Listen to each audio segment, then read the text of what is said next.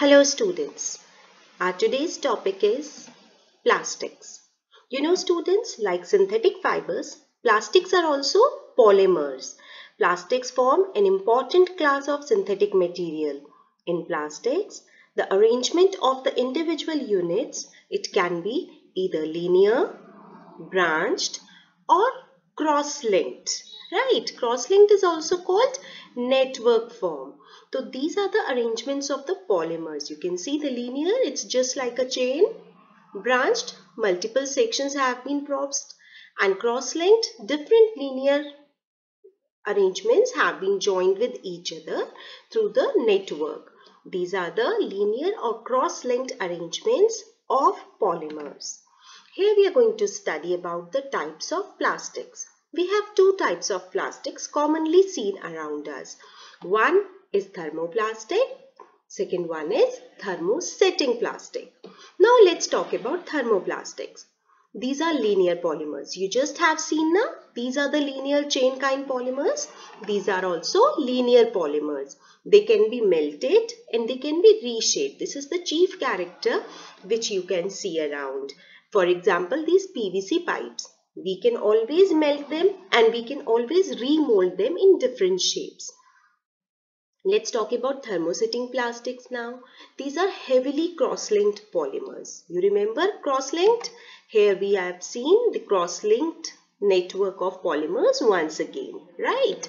So these thermosetting plastics are heavily cross-linked polymers and the main thing they cannot be melted or remolded once heated.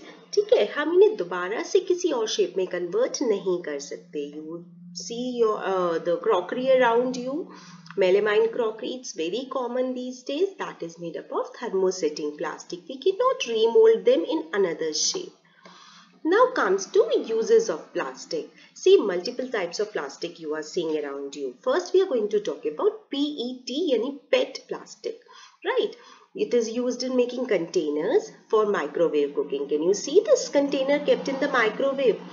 And then we can use this for bottles of carbonated beverages like sodas and all water bottles also and the food containers also. They all are made up of PET plastic which is commonly used as uh, Pearl PET is the company if you know Pearl PET ki sari material isi plastic ki hoti hai next one is HDPE that means high density polyethylene these kind of containers, they are used for the strong and corrosive household or industrial chemicals. ठीक है bleaches, acids जो बहुत corrosive होते हैं जो बहुत जल्दी react कर लेते हैं उनको रखने के लिए कंटेनर्स जो यूज़ होते हैं that is made up of H D P E can you see this container ऐसे ही हम लोगों के ये this is diesel fuel container right इसी तरह हमारे पास मोबिल ऑयल का कंटेनर्स होते हैं। तो मल्टीपल टाइप्स ब्लीचेस हम लोग हमेशा ऐसे ही कंटेनर्स में रखते तो these are high density polyethylene containers Now next is PVC. It's very commonly seen around us, polyvinyl chloride. These are use in making pipes for sanitary fitting ठीक है? Water pipes हमारे सारे पॉलेविनाइल क्लोराइड के बनते हैं। And PVC is linear kind of setting right this comes under thermoplastic के हम लोग इन्हें हीट भी कर सकते हैं और हीट करने के बाद रीशेप भी कर सकते हैं। ठीक है? The next one is L D P E which is low density polyethylene already started about high density now we are starting about low density तो लो डेंसिटी पॉलीथाइलिन से क्या बनाते हैं हम लोग? Common poly bags grocery bags packaging of food bread की packet आपने देखा ना? Poly pack of bread that is also made up of L D P you can see these kind of polythenes अभी तो ये बैन हो चुका है because this is very injurious to our earth हमारी अर्थ पर बहुत सारा पोल्यूशन क्रिएट कर रहे थे। तो अभी ये बैन हो चुकी है but still you have seen these right Another type of plastic is PP and PS. PP is also called polypropylene. Polypropylene की bottles आप to commonly अपने घरों में देखते हो स्कूल में आप carry करते हो these water bottles, ketchup bottles. Have you seen ketchup, uh, tomato ketchup dispensers? That is also made up of polypropylene. Yogurt containers, market से आप कर्ड लेने के लिए जाते हो yogurt लेने जाते हो तो एक छोटी सी डिब्बी के अंदर पैक करके देते हैं तो that is also made up of polypropylene. जितना भी मेडिसिनल बॉटल्स होता है प्लास्टिक का वो सब पॉलीप्रोपिलीन से बनता है ठीक है तो another one is polystyrene styrene को आप वर्ड को ध्यान रखेंगे. This word is always related to thermocol right तो this is a form of PS which is used in making disposable cups packaging material और फ्रेजाइल आइटम्स जैसे computer है television washing machine इन सबको जब हम मार्केट से बाय करके लाते हैं तो वो एक हमेशा पैकिंग में होता है। That packing is made up of thermocol and that thermocol is made up of polystyrene you can see these carbs these are thermocol carbs and these are made up of polystyrene I hope आपको सारे uses समझ में आ गए हैं। चलिए अब हम आगे चलते हैं। That is let's come to the properties हर चीज़ की अपनी केमिस्ट्री में हर चीज़ प्रॉपर्टीज़ पर बेस्ड होता है। कुछ फ़िज़िकल प्रॉपर्टीज़ कुछ केमिकल प्रॉपर्टीज़ तो अभी हम यहाँ थर्मल कंडक्टिविटी की बात करते हैं। प्लास्टिक को आप लोगों ने हमेशा सुना होगा कि ये बैड कंडक्टर होता है ना? It's a poor conductor of heat plastics have low thermal conductivity. That is why only we call it bad conductor or poor conductor of heat. This makes them suitable अभी क्या होता है कि जब हमारा ये ब्राड है तो we are easily using it for the purposes of cooking vessels हमारा कुकिंग वेसल बहुत हॉट है तो हमने प्लास्टिक हैंडल लगा दिया, हम इजीली उसे होल्ड कर पाएँगे। रेफ्रिजरेटर्स फोम कोर में यूज़ हो जाता है। It is use in the microwave oven containers also so that we can pick those warm utensils ठीक है? तो थर्मल कंडक्टिविटी या पुअर कंडक्टर्स ऑफ़ हीट को हम लोग इस तरह से यूज़ कर सकते हैं। Another is electrical conductivity thermal conductivity की हमने बात की, अब इलेक्ट्रिकल कंडक्टिविटी भी इनकी बहुत पुअर होती है। they, they are the bad conductors of electricity also. That is why they have been used as a covering material in electrical appliances, cords, wires, electrical outlets, etc. Right right. अभी ये क्या है? Water में बिल्कुल dissolve नहीं होता plastic इसकी solubility जो होती है that is zero insoluble in water so that is why we are using these as a container of water है ना? हम इनको वाटर स्टोर करने के लिए यूज़ कर लेते हैं। अभी मैम ने आपको पीपी बॉटल्स बताए थे। तो पीपी बॉटल्स भी क्या है? हम लोग वाटर स्टोरेज के लिए यूज़ करते हैं स्कूल कैरी करते हैं। Plastics are insoluble in water and that is why these are used for making bottles, buckets and other containers in which we can store the water.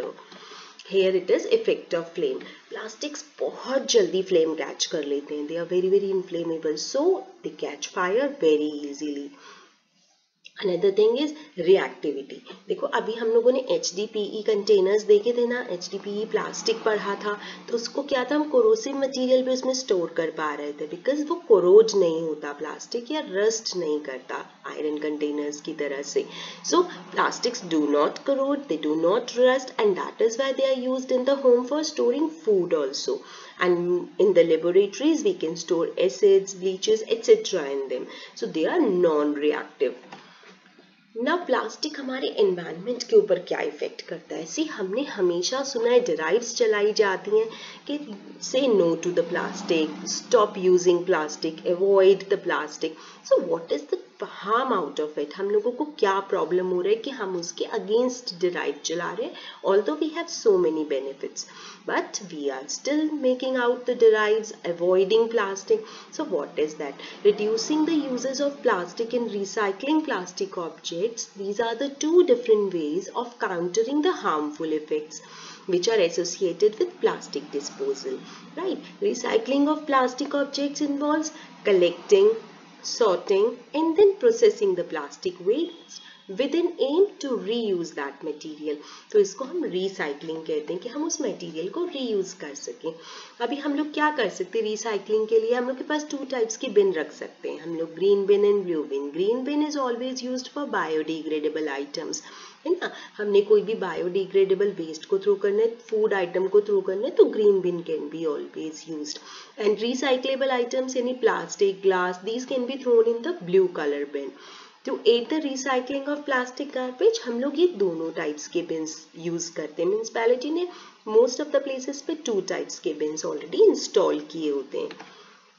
Now we can just see harmful effects of plastic disposal अब छोटेपन से बचपन से पढ़ते चले आ रहे हो plastics dumped in the water bodies pose a threat to the aquatic life अगर यही प्लास्टिक हम लैंड पर रखते हैं तो that is a threat to our uh, land part हम लोगों का लिथोस्फेयर भी थ्रेट में है हाइड्रोस्फेयर भी थ्रेट में। अगर हम ये सारा प्लास्टिक बर्न कर देते हैं तो डेफिनेटली एटमोसफेयर uh, भी थ्रेट में आ जाता है। सो so, हमारा हर टाइप का पार्ट हमारी अर्थ का प्लास्टिक से थ्रेट के अंदर आ रहा है right most plastic waste end up littering road side and form the ugly dumps ugly dumps you know ना जहाँ बहुत सारा गार्बेज इकट्ठा हो जाता है that is very ugly to see and that harbour many disease causing organisms as well. When plastics are burned, they produce toxic gases. So here you can see in water, hydrosphere is being affected. When it is on the land or roadside, lithosphere is being affected. When we are burning it, toxic gases are coming out of it that is affecting our atmosphere. So anyhow, plastic is harmful for all the components of our earth. That's all students. I hope you understood plastics very well and we should avoid the use of plastics as much as possible. Thank you guys. In the next video, we'll come up with the next topic. Still then, stay tuned.